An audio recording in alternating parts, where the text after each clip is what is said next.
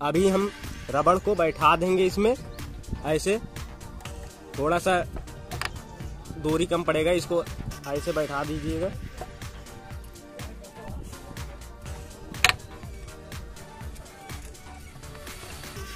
अब इसमें हम एलिमेंट लगा देंगे। एलिमेंट ऐसे ही,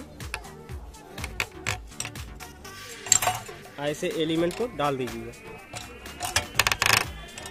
ये एलिमेंट अभी इसका नट लगा देंगे। गुटके की सहायता से टाइट कर देंगे।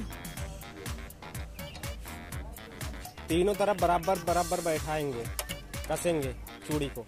बराबर।